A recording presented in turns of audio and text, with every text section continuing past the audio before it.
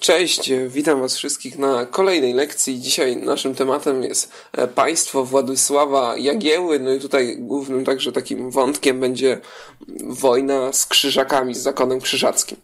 Więc już w 1386 roku następuje koronacja Władysława Jagieły, jego chrzest, a także oczywiście e, umówiony ślub z Jadwigą, e, ale sam Władysław Jagiełło nie zostaje królem aż do roku 1399, e, kiedy to Jadwiga przy porodzie swojej córki Bonifacji, tak nazwanej na cześć papieża Bonifacego, umiera, no i wtedy, żeby uzyskać tron Polski. E, Jagiełło musi e, tutaj nadać, nadać przywileje jakieś dla możnych, wtedy wzrasta znaczenie Rady Królewskiej w państwie. Nie jest ona organem decydującym, ale już władca musi się bardziej z nią liczyć w trakcie podejmowania decyzji i to jest warunek, żeby został samodzielnie królem Polski, bo wcześniej jakby był bardziej dodatkiem do, Jagie, do Jadwigi, która oficjalnie dzierżyła ten tytuł króla Polski. Nie królowej, tylko króla.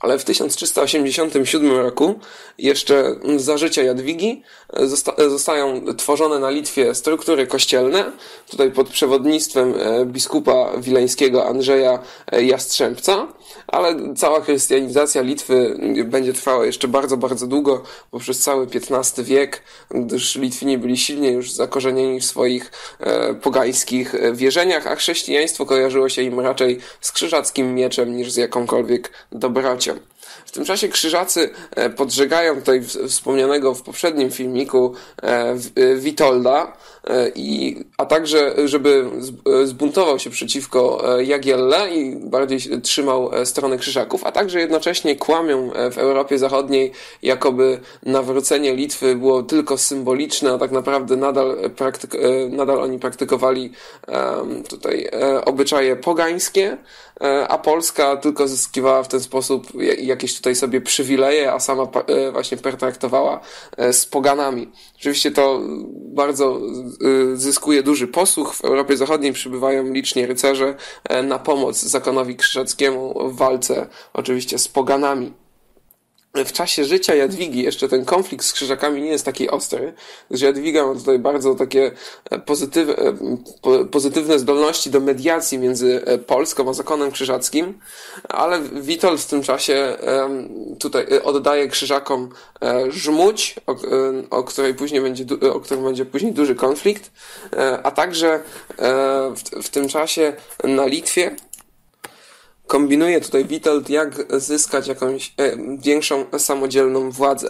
A zakon krzyżacki, krzyżacki nie próżnuje i w 1402 roku e, kupuje e, nową marchię od Brandenburczyków. Zapiszemy sobie tylko datę, 1402 rok. E, tutaj znowu, e, która bezpośrednio już graniczy e, z Polską. Jest to taki dość niebezpieczny teren, ta nowa marchia. No i ostatecznie już jest wiadome, że wojna jest pewna. Jadwiga nie żyje, tutaj Jagiełło jest za rozwiązaniem zbrojnym sprawy z krzyżakami. I w ten sposób w 1409 roku wybucha wielka wojna e, polsko-krzyżacka. Trwa w latach 1409-1400 11. Tutaj powodem jest e, powstanie e, na Żmudzi, e, gdzie Żmudzini tutaj się buntują, Litwini ich popierają i Polska tutaj daje jasno do zrozumienia krzyżakom, że jeśli krzyżacy teraz zaatakują Litwinów, to będzie tak zwany powód do wojny, kazus belli. No, krzyżacy oczywiście lekceważą tutaj Polskę Litwinów, dokonują akcji zbrojnej, zajmują Polsce ziemię dobrzyńską jesienią, jeszcze 1409 roku. Następuje później zimowa przerwa, tak jak zgodnie wtedy z tamtymi obyczajami prowadzenia e, wojny. I już, e, już e, później, wcześniej na wiosnę rusza polska ofensywa. Jest ona skierowana na Malbork, a nie tak jak na Gdań, a nie na Gdańsk, tak jak spodziewali się krzyżacy. Także zostaje zastosowany tutaj taki dość nowy myk e, technologiczny, e, mianowicie w trakcie e, przeprawy przez Wisłę na prawy brzeg tutaj zostaje użyty most, most pontonowy, co jest no, mówię, technologiczną całkowicie nowinką. On pozwala się przedostać na ten na prawy brzeg, połączyć się z wojskami Witolda i spotkać się z krzyżakami 15 lipca 1410 roku. Myślę, że to jest data, którą zna każdy Polak na polach Grunwaldu. Można się także spotkać e, z określeniem, to jest W, oczywiście jak zawsze.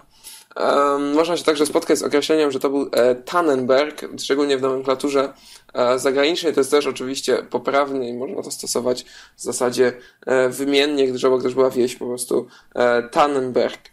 E, sama bitwa okazuje się całkowitym sukcesem. Proporcje sił nie są do końca znane. Tutaj zaciekawionych e, można odesłać do internetu, gdyż są one naprawdę różnie e, podawane.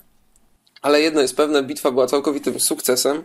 Nie zginął prawie, w zasadzie nie zginął żaden ważny rycerz polski, a u, u, u, po stronie krzyżaków zginął sam wielki mistrz i zginęło mnóstwo braci rycerzy, co załamało kręgosłup tutaj taki cały e, państwowy, e, państwowy zakonu e, krzyżackiego ale niestety zwycięstwo to nie zostało dobrze wykorzystane.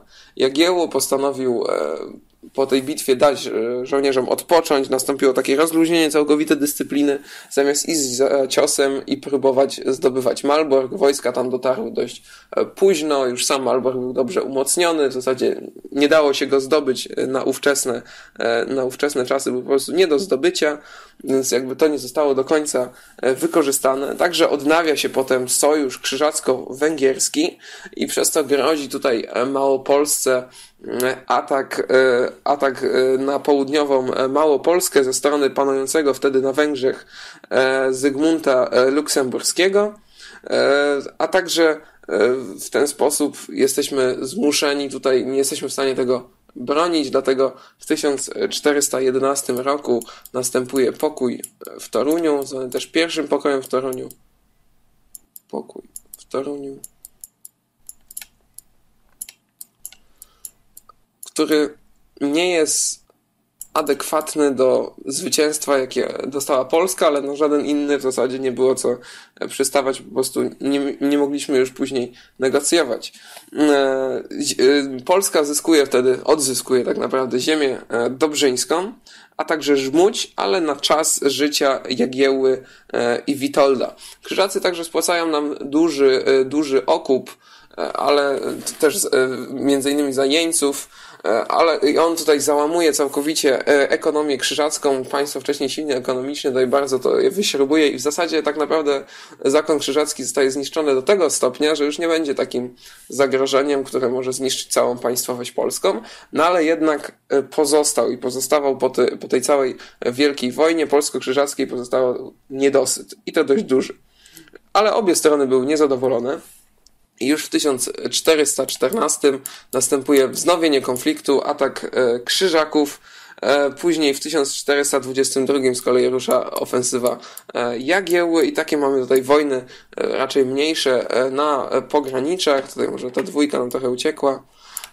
Mniej, raczej wojny takie na pograniczach kończy się w 1435 roku pokoju, pokojem w Brześciu Kujawskim. Tutaj zapiszemy samą datę. 1935. E, ostatecznie wtedy uzyskano, Polska ostatecznie wtedy uzyskała żmuć już tak nie tylko na życie Jagieły i Witolda, tylko, tak jak powiedziałem, właśnie ostatecznie. Tutaj widzimy e, Zygmunta Luksemburskiego, o którym wspomina, e, wspominałem wcześniej, bo nawiążemy teraz do polityki dynastycznej, jaka się wywiązała. Jak zobaczyliśmy, tutaj Polska łącznie z Litwą, to jest mapa do 1434 roku, czyli tutaj część ziemi jest dodana, nie była obecna w trakcie tej wojny polsko-krzyżackiej, ale powstało olbrzymie państwo Jagiellonów. Jagielloni stali się bardzo wpływowym E, rodem, e, można powiedzieć nawet w Europie, a jednocześnie wtedy właśnie Luksemburczycy e, tutaj próbowali rozszerzyć swoje strefy wpływy, między innymi rządzili, rządzili na Węgrzech, tak jak widzimy Zygmunt Luksemburski miał być cesarzem Niemiec, no i próbował on zniszczyć wewnętrznie państwo, e, państwo Jagieły. Zresztą oni się nawzajem nie lubili, bo wiadomo, ze sobą rywalizowali. Między innymi Jagieło tutaj popierał, e, nie objął korony w Czechach w trakcie powstania husytów, ale ich e, potajemnie wspierał. Więc Zygmunt Luksemburski także proponował Witoldowi koronę Litwy, żeby nadał mu ją samodzielnie. Ale jego plany zostały pokrzyżowane, gdyż Witold zdążył wcześniej sobie umrzeć, że tak powiemy kolokwialnie, w 1400 30. E, sam Jagiełło miał później, e, że tak powiem, problemy, e, gdyż musiał, chciał, żeby władzę po nim odziedziczyli jego synowie, a długo nie mógł się doczekać męskiego Oczywiście na końcu ich się doczekał, byli to Władysław i Kazimierz, o których powiemy sobie na pewno w następnych e, odcinkach, ale doczekał się e, tych męskich potomków dopiero z ostatnią żoną, a miał ich dość sporo, bo aż e, cztery. Na początku sobie przypomnijmy Jadwiga, później Anna Cylejska, następnie Elżbieta Ganowska, a ostatnia była Zofia e, Holszańska. I z, tą, z nią właśnie, z Zofią miał tutaj Władysława e, i Kazimierza. Udało mu się, ale żeby zagwarantować sobie e, tutaj później sukcesję, sukcesję tronu, musiał nadać oczywiście przywileje. W 1410, 1430 roku mamy przywilej jedleński. Piszemy sam jedleński. Jedleński. I w 1000 433 mamy przywilej krakowski. Często one są podawane jako razem e, przywilej jedleńsko-krakowski. Krakowski. E, gwarantowały one e, tutaj szlachcie nietykalność osobistą i majątkową, czyli od tego czasu już żaden, żaden szlachcic nie może być pozbawiony majątku albo więziony po prostu bez zgody sądu. Ale zaczyna się także wtedy, można powiedzieć, złota epoka, jeśli chodzi e, o Polskę. Polskie rycerstwo jest znane na całym świecie, między innymi tutaj Zawisza Czarny, bardzo znany polski rycerz, który e, króluje, znaczy króluje, triumfuje na dworach zagranicznych, wygrywając różne turnieje. E, Pola, polska sprawa staje się znana na całym świecie, jest, przodujemy, przodujemy w wielu tutaj gałęziach, przodujemy w kulturze, Polska jest po prostu wtedy mocarstwem. Dziękuję za uwagę, no i zapraszam na kolejne lekcje.